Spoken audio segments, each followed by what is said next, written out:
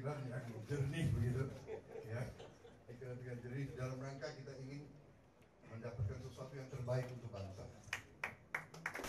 Kita ini membangun suatu komitmen bahwa Bhinneka Tunggal Ika itu bagi kita adalah harga mati.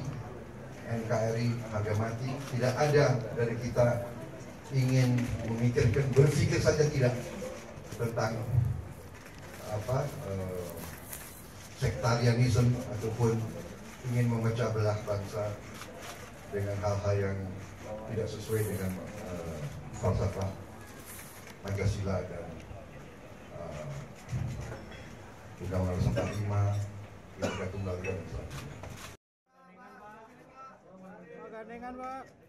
Pak, video kampanye Pak.